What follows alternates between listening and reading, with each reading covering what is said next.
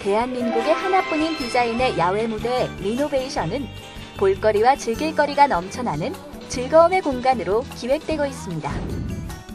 상인 문화 클럽을 통한 상인들의 다양한 문화 참여로 난타, 요가, 상인 밴드, 어린이 뮤지컬 등이 진행되어 상인들과 지역 주민들을 더욱 건강하고 활기차게 만들어주며 특히 ICT, 보이는 라디오를 통해 구리 전통시장에서 직접 만드는 라디오 방송을 전 세계 어디서나 청취 가능하게 하여 구리 전통시장만의 멋과 낭만을 함께 나눌 수 있도록 하고 있습니다.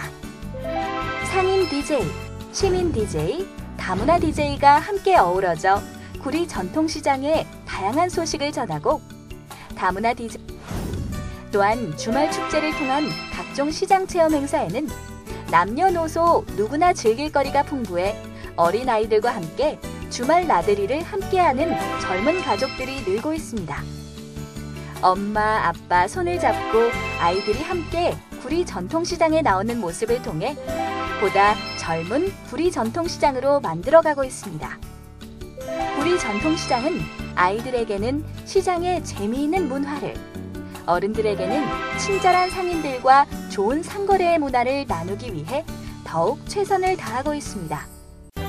상인 마인드 교실과 토크 콘서트를 진행하여 상인 스스로 힐링이 되는 시간을 통해 친절한 시장, 깨끗한 시장 만들기에 노력하고 있습니다. 우리 전통시장에서는 전통시장 이용을 적극 홍보하고 온누리 상품권 구매에 적극 참여하며 운수대통 복권 이벤트, 스토리텔링 책자 등을 제작하며 더욱 전통시장 발전에 기여하고 있습니다.